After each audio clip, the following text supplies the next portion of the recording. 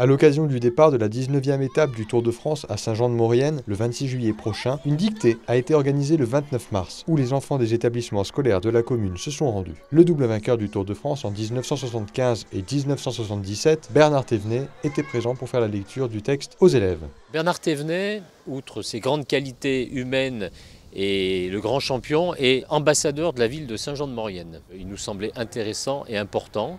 En tous les cas, nous avons pensé à lui euh, spontanément. Il est régulièrement dans notre cité.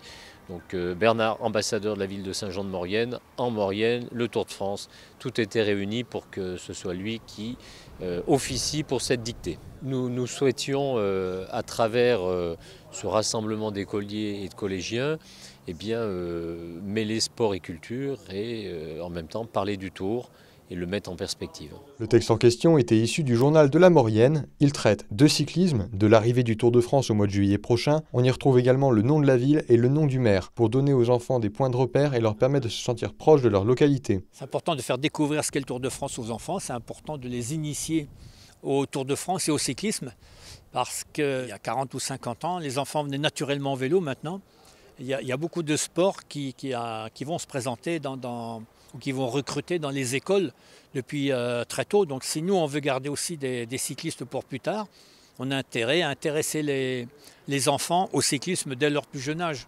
Donc c'est important de faire ces, euh, dictées, c'est important pour euh, nous les anciens coureurs, c'est un devoir pour nous les anciens coureurs d'essayer d'intéresser le maximum d'enfants à la pratique du cyclisme. Deux classes de CM2 des écoles primaires de la ville et une classe de 6e du collège Maurienne sont venues participer à l'événement. Je pense que ça leur a fait plaisir déjà bah, de passer un, petit moment en dehors de l'école. Ils ont été très appliqués, très disciplinés, peut-être parce que c'était un, sujet qui est hors cursus scolaire en quelque sorte. Donc euh, pour eux c'est plus un, ou tout au moins c'est autant un, divertissement qu'un exercice. La récompense pour cette épreuve, les huit premiers élèves de la dictée pourront accéder au village départ de la 19e étape du Tour qui aura lieu le 26 juillet prochain.